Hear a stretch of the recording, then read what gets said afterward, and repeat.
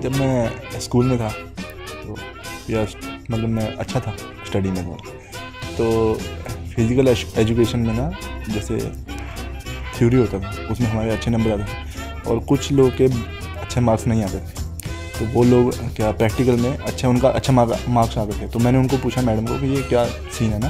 तो उन्होंने बोला कि आपको कोई गेम रखना पड़ेगा, उसमें थोड़ा आपको टीम में आना पड़ेगा तो आपके मार्क्स अच्छे आ जाएँगे। तो मैंने थोड़ा ढूंढा कोई गेम ना जो मेरे को अच्छी लगे।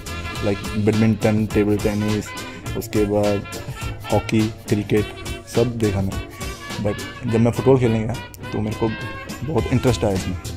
तो वो कैसे मेरा पैशन बन गया तो पता नहीं लगा। कभी सोचा ही नहीं मैंने उसके लिए सेकंड ऑप्शन हमेशा फुटबॉल ही सोचा उसके बाद।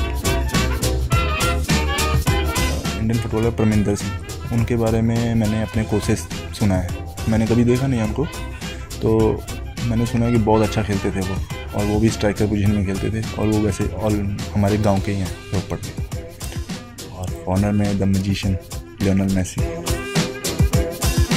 blue black अच्छा लगता है मेरे पे।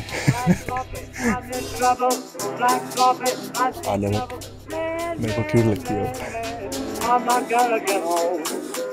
Black coffee, I'm so dizzy.